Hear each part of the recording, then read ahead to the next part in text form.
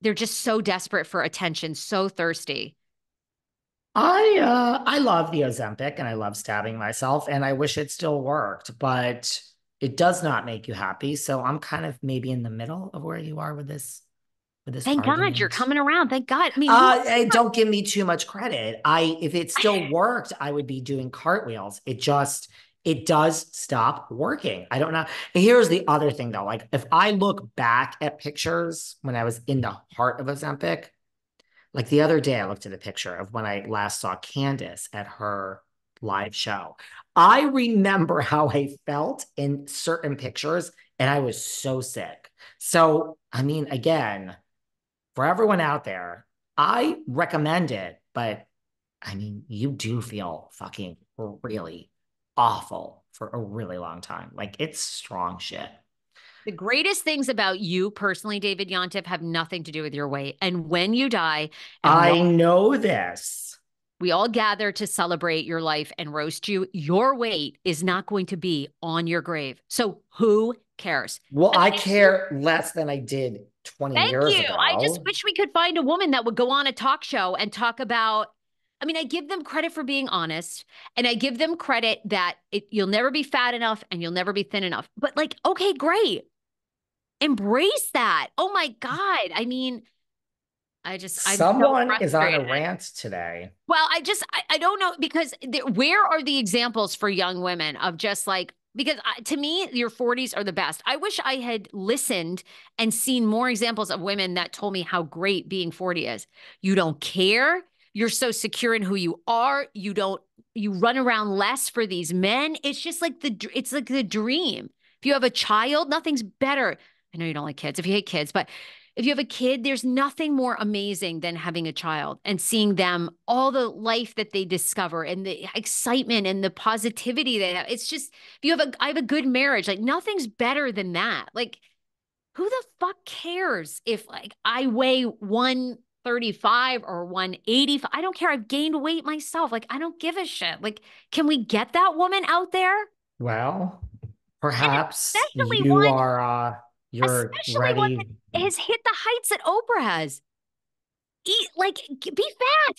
Be happy, be fat. Go out there. Show us your rolls, girl. Instead, it's like, well, I'm seven to 71 and I mean, trying I to be do trying to be 22. I do love uh I do love food. What is the next Bravo um scandal gonna be? I wonder. My ADD has made me ask you that. Is it Teresa and Luis? I mean, that's a good guess. I really didn't have anything in mind, but that's very possible. Yeah. Uh, yeah, or Dorit and PK. Still don't know where PK. You know, I'm probably going to see PK this summer because I'm going to a Culture Club concert Mm-hmm. and I'm doing a meet and greet again with, and he's always there. So hopefully PK will not know who the fuck I am and I can just look away and not be seen because I don't want any problems.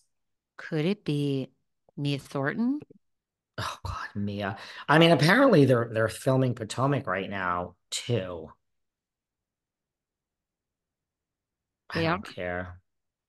Ugh. I just please look. I I don't, think I don't think half the cast cares. I've had all the women on. I don't think they care. Believe me, I think I think a lot of those women. I'm not going to name names, but I think a lot of the cast of Potomac would be happy if they didn't get the call again. I think they're over it too. Just a hunch, but put us out of our misery. Atlanta, we're we're not anywhere, God, darling. We still have a ways to go. We don't have a cast for Atlanta. This is this is going to be like a two-year pause by the time they're back on TV. If you just get get it right, if you're taking this long, just get it right. Take longer. Take longer. Get it right.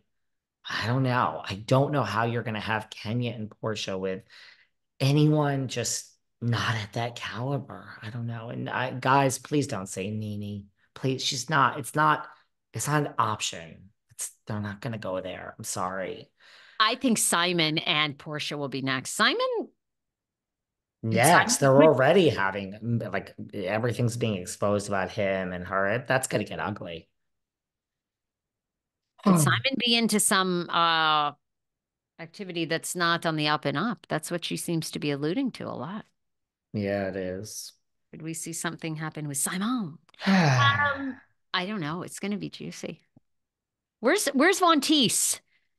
Or Von Teese? She had a miscarriage. I can relate. I know. And people were very mean, and uh, that's uncalled for. Yeah, that was horrible. I like Von Teese. Me too. Will Von Teese be back? Where's Von Teese? Where's her mom? Salt Lake, I have to be honest, I'm more excited. I mean, I can't believe I'm saying this, even without Von Teese. Salt Lake, I think because it's new, it intrigues me more than Atlanta, more than Potomac, more than the OC. The OC, yeah. I don't know. It's I'm more excited than ever, but I just hope it lasts. And Jersey, I'm really conflicted. This premiere has left me conflicted. Good, same old, same old. I'm really torn about Jersey. I got mm. nothing else to say to you. I'm like out of gas. All right. Buy tickets to our live show. It will sell out. No joke. Right? I mean, it's going to sell out. Oh, honey, uh, we'll probably be sold out by the time this comes out. But but that's yeah. what I mean. I mean, people, it's not just lip service. It really was out. And when it does, there's truly, truly, truly uh, nothing. Uh, come on, do. pay your ticket and boo us like Kim K got booed at the Tom Brady roast, sweetie, and see how we handle it. Are you ready to be booed?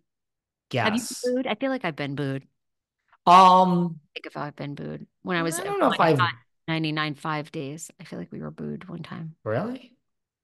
I don't know if I've ever been booed. I've had, you know, people hate me to my face with comments and I've been heckled at a live show. Yeah, like, oh really? I've never been heckled at a live oh. show. Oh, maybe you will be this time.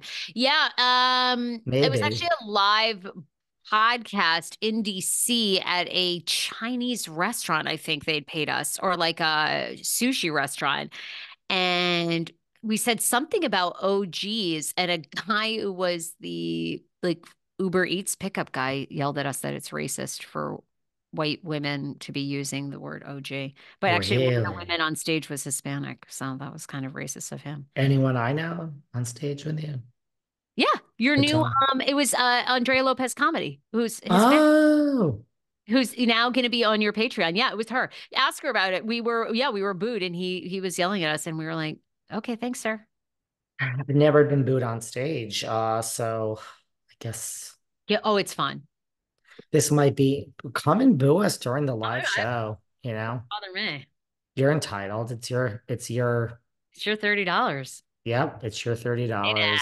Hey now. Or or 15, whichever uh, package you choose. You got to be booed if you're, I mean, Howard Stern's been, all the greats have. Well, Howard's a genius and I love you dearly, you know? Go enjoy the day. I you too. I, honey, there's no enjoyment here. I have work from now until the time I drop dead. Oh. But not today. Today's a busy work day. But I love everyone and I love you. I love you too, my friend. I cannot wait to do this live show with you. It's going to be so much fun. Oh, we're going to have a good time. Everyone get your tickets. We love you. I love, love all you, of you. All, all right. right. Bye. Bye. Bye.